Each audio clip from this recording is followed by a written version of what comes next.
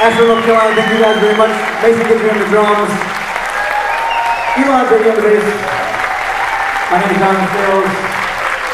We'll see you all next time. Thank you.